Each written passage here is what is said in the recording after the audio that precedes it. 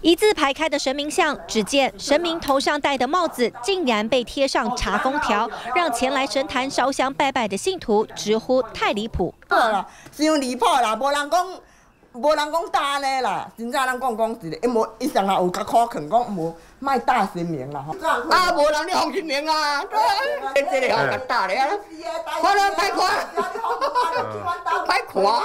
庄重的神明像头上被贴上白色盖章的查封条，信徒认为执法的法院人员对神明大不敬。追究之下，原来是开设神坛的邱姓男子，因为欠税四十五万元，行政署执行查封财产。书记官看到神明头上金光闪闪的帽子，以为是真金打造，外观上是。